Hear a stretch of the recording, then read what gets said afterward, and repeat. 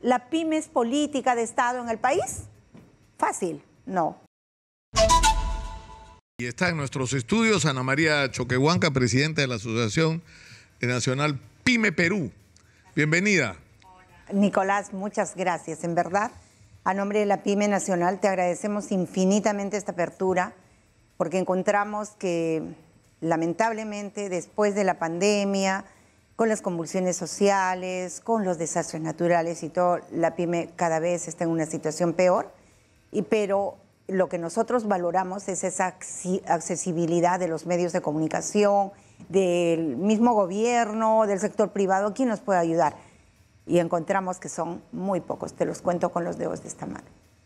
Siempre regresamos, ¿hace cuántos años, Ana María? ¿Te acuerdas que un día me hablamos porque te, ibas a meter en política, porque yo te conocí como dirigente de la pequeña empresa? Siempre.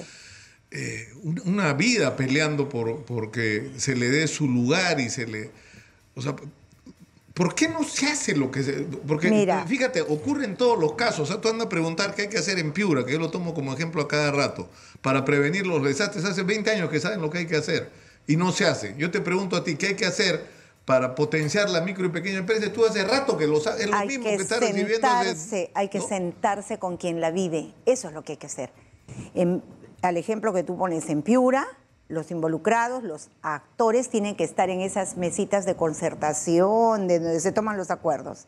O sea, nosotros respetamos mucho las jerarquías y a las autoridades, pero tenemos que decirles que no siempre lo que los asesores que tienen o los académicos con los que se rodean son los que saben la realidad de lo que pasa en este llano, de lo que pasa abajo. Lo que pasa abajo, Nicolás, solo lo conocemos nosotros, porque lo hemos vivido, no de ahora, no de 10 años, como bien dices, hace 20, 30, ¿cuántos años? Gobierno y gobierno, mirada indiferente, gobierno en mejores condiciones que ahora. Cuando hubo el crecimiento del 8.5% en tiempos de Toledo y los que vinieron, ahí se pudo haber levantado el sector de la pyme. Pero tú encontrabas que habían ONGs, que habían, no sé, instituciones que traían y decían, ah, es para mejorar la pyme. ¿Cuánto lo han mejorado? Porque nunca en el Perú, Nicolás, ha habido medición de impacto de resultados hacia todos los proyectos que se hacen en pro de los beneficiarios. Y eso pasa en todos los sectores. Pero nosotros ya dejamos la estación de lamento hace muchos años. Nosotros seguimos caminando, acompañados o no acompañados. Y lo que nosotros hemos hecho ahora es nuestra propia tarea. Queremos reactivar a la pyme. Está abierto. Ciertamente la Asociación Pyme Perú es una asociación que tiene gremios de gremios, afiliados, pero nosotros no trabajamos para nuestros gremios, trabajamos para el sector, porque creo, Nicolás, y estoy convencida de que solo el trabajo conjunto nos va a sacar adelante. Y hablando de ese trabajo conjunto, es que hemos preparado, el 15 de mayo es el Día de la PyME, seguramente. Saludos, a mí ya me llegó un saludo del presidente del Congreso ah, para, ah, para, todo el sector. Situación, eh, algo que agradecemos. Pero los saludos hay que dejarlos. Trabajemos en acciones, el legislativo, en leyes buenas para nosotros, que se fijen en esas leyes. Yo he estado en el Congreso. Cuando llega una ley pyme, tienes que ir uno a uno a explicarles de qué se trata, porque no saben qué es la pyme. Y yo estoy y, no se involucran con los sectores. Se involucran con otros sectores que resultan muy interesantes para ellos. Y yo te lo digo con conocimiento de causa. Ahora en el Ejecutivo, los gobiernos han pasado, han pasado y dicen, bueno, ya, ¿qué es lo que tenemos en el Ministerio de la Producción? Y eso no de ahora, de antes. Tenemos pesca y tenemos pymes. ¿Sabes cuándo empezó a desarrollar la pyme en el país? Cuando nosotros teníamos PROMPYME. ¿Qué era PROMPYME? La promoción a las pymes por ocuparse solamente como un organismo nacional que se ocupaba del sector. Si el señor García no le hubiera bajado, ahora PROMPYME sería tan potente como los organismos que existen en países vecinos como Chile, como Colombia, en fin, que se ocupan de ese sector. Em, pero, además con políticas, o sea, hay, hay problemas que son recurrentes. Por ejemplo, hay un tema el otro día creo que fue con, Jesús Salazar Nishi que hablamos sobre cómo, por ejemplo, cuando hablas de la agricultura exportación y el éxito que ha tenido, el éxito está directamente asociado que se hizo una política y una ley de promoción agraria que funcionó, que por supuesto es perfectible, corregible, que hay que ver a quienes se le sigue dando beneficios y a quienes no. Si ya disfrutaste el beneficio y lograste el éxito, ya no lo requieres, hay que dárselo a los que sí lo necesitan La pregunta era, ¿por qué no se hace eso con la pequeña empresa? Porque hasta es decir, ahora... por ejemplo, crédito. ¿Qué cosa necesita la pequeña empresa? ¿Acceso a crédito? Acceso con flexibilidad. Y la flexibilidad es algo que muchas veces algunas entidades bancarias no entienden. Las mismas eh, cajas municipales muchas veces no lo entienden. Uno tiene que tener créditos flexibles. Aquí en el Perú no existen, por ejemplo, los créditos blandos. Un crédito blando funciona cuando hay un desastre, cuando hay una convulsión social como lo que ha habido, cuando ha habido una pandemia. Entonces tú le das un tiempo a la pyme, le prestas el dinero, pero le das un tiempo para que pueda retornarlo, para que trabajen y te lo retornen. ¿En 30 días te lo pueden retornar? No. En 30 días, ¿cuánto, eh, ¿cuánto te levanta en peso una entidad bancaria? Con su, porque la entidad bancaria, yo me acuerdo mucho, y lo dije en una de mi padre decía en alguna oportunidad cuando hizo una una exposición, una intervención en, en CADE, dijo, los bancos no tienen alma, decía. Y nosotros analizamos eso y decimos, corazón. perfectamente, los bancos no tienen alma. Corazón, no sé, algunos tendrán. Nosotros estamos cerca de algunos que sí tienen corazón, quizás, queriendo ayudar. Pero esa no es la tarea de, de, de, una banca en particular, de un banco en particular o de una entidad financiera en particular. Esa es una política, como bien dices, la política. ¿Somos política de Estado? Primera pregunta. ¿La pyme es política de Estado en el país? Fácil, no. ¿Alguna vez la pyme ha sido prioridad? Hablamos mucho. ¿En boca de todos y en manos de nadie, de nosotros mismos? Pero ya dije anteriormente, no estamos en una estación de lamento, estamos en una estación de recuperar el ánimo, el optimismo, y hemos preparado con mucha dedicación, con mucho esfuerzo y cariño, un mega evento multisectorial que empezamos a desarrollar este 15 al 19 en el Centro de Convenciones de Lima. Sí quiero agradecer al Ministerio de la Producción por habernos proporcionado el local, por estarnos apoyando también con la provisión de 60 stands eh, que han sido con empresarios que realmente nosotros hemos presentado, han sido filtrados, cumplen o cumplen, en fin, una pena que solo hayan podido ingresar los que han tenido, digamos, este, actividad los dos últimos años Y, Empecemos por ahí. porque si ellos crecen, Nicolás, van a generar empleo. Entonces hay que... Sí, me dicen que tenemos un, pequeño problema con tu audio, lo vamos a resolver ahorita, pero eh, eh, yo, yo, yo, decía lo siguiente, o sea, tú tienes problemas, uno con el crédito, y, tú lo has definido claramente, pero por ejemplo, ahora se, ha estado hablando eh, del tema de lo, del, del aumento del sueldo mínimo. ¿no? Entonces, la pregunta es, ¿cuál es el tratamiento que se le va a dar?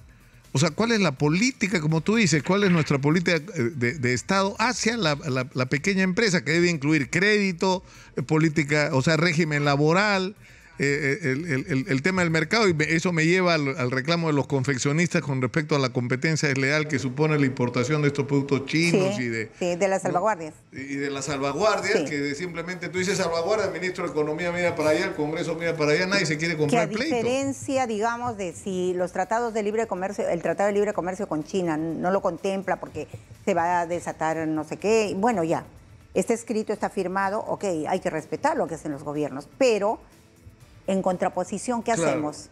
Coloquemos la industria nacional en los centros que venden ropa importada y vamos a una franca competencia, ¿o no? ¿Estamos en condiciones? Por supuesto que sí. Y no solo es Gamarra.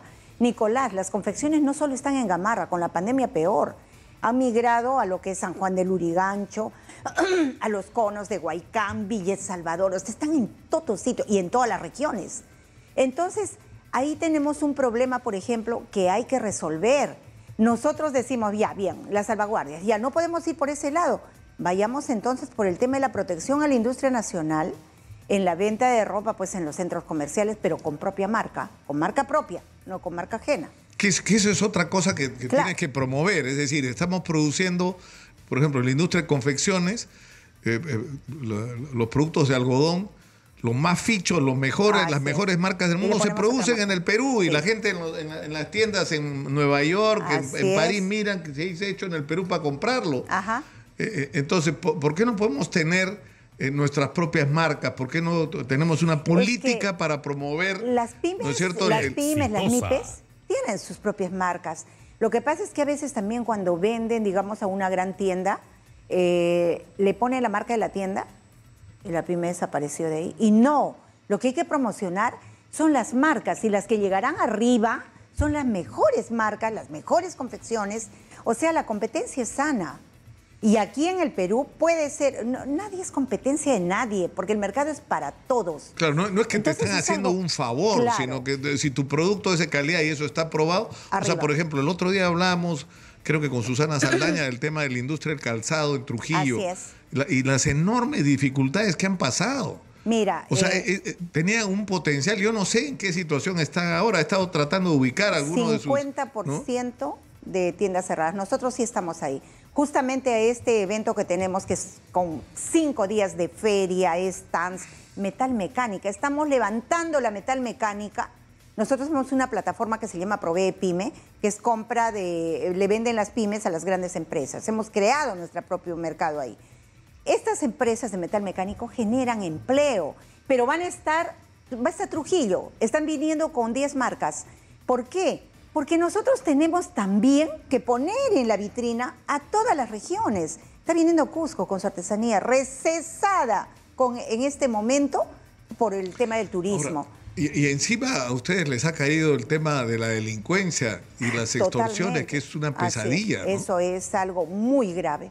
Nosotros hemos tenido una reunión con el ministro de Interior hace dos meses, me parece, pero lamentablemente el problema ha crecido tanto que no sé por dónde lo podemos agarrar. O sea, pero hay que hacer algo. Porque tienes, además, están atrapados por todos lados. Como tienes dificultad de acceso al crédito, muchos pequeños microempresarios terminan en el gota a gota, eso que te, que te asfixia. Y si no pagas, hasta te matan. Y, tienen que pagar cupos para poder eh, funcionar. Los créditos subterráneos que están ahora a la orden del día. Sí, en realidad la problemática, Nicolás, es muy grande, tú la conoces muy bien, me puedo dar clara cuenta de ello, pero creo que estas eh, intervenciones que hay tanto de medios de comunicación como con nosotros es útil, es fructífero. Yo quiero aprovechar, Nicolás, de invitar a toda la población este, que vive en Lima, porque este evento es en Lima, vienen de regiones también, a que nos visiten en el Centro de Convenciones de Lima de 10 de la mañana a 5 de la tarde, de lunes a viernes. Nos hemos aliado con el Ministerio de la Producción, que nos han dado el soporte que ellos puedan tener. No es fácil trabajar con el Estado, pero nosotros estamos trabajando bien. Entonces sí queremos... O sea, lo que, se va a mostrar es lo que está haciendo la... Lo que es producción. Hay conferencias, hay charlas, hay, están los proveedores, va a haber una rueda de negocios, encuentro empresarial, rueda de negocios con los grandes empresarios, encuentro empresarial perdón, al revés, encuentro empresarial con los grandes empresarios, rueda de negocios con los ministerios, logística. A ver, tienes que venir a comprar. En eso le hemos pedido apoyo al Premier para que ya pues mande a todos los ministerios, ¿no? Yo espero que estén presentes. Eh, se ha sumado también incluso la presidenta para estar el día lunes acompañándonos. Se han sumado varias eh, instituciones estatales. Estamos nosotros, mira, no es difícil trabajar con el Estado. no quiero hablar de gobierno, sino de Estado porque eso es lo que permanece. Y nosotros, las pymes, permanecemos. Trabajamos con el Estado que esté siempre y cuando tenga mirada hacia nosotros. Si no nos mira, nosotros sabemos que no nos mira, tenemos inteligencia para saber, oye, aquí hay que seguir solos. Si es que nos mira, en este evento estamos demostrando es, que increíble pues que, un sector que genera que el 75%... 99% de tejido empresarial peruano y sí, 75% de la PEA obviamente. La población económicamente activa, de cada cuatro peruanos que trabajan, tres están en una micro y pequeña empresa. Así es, y creo que este es el momento, este es el momento, pero la población nos puede apoyar como, vayan a mirar lo que hacemos las pymes realmente. Este evento ha sido hecho por pymes, Nicolás. Esta es una iniciativa de Pyme Perú en alianza con Produce, con Mincetur, Relaciones Exteriores, o sea, estamos queriendo que estas entidades que trabajan con el sector también se están poniendo las pilas. Vamos a de recordarlo mañana y de recordarlo desde el lunes todos los días, Ana María. Siempre es un gusto, un gusto conversar contigo. Abrazo. Y los esperamos el lunes, 10 de la mañana, dentro de Convenciones de Lima. Gracias.